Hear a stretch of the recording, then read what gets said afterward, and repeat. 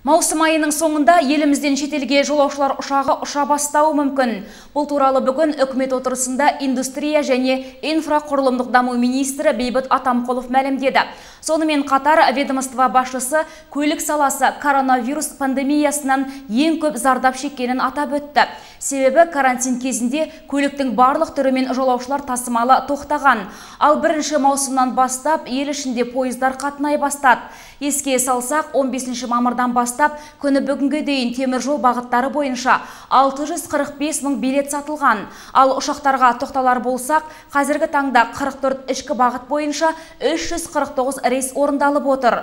Ал халықаралық бағыттардың іске қосылуы эпидемиологиялық жағдайға байланысты халықаралық рейстерді кезең-кезеңмен жандандыру жоспарланып отыр. Осы маусым айының соңында Қазақстан және Түркия арасында халықаралық рейсті қайта ашу көзделген.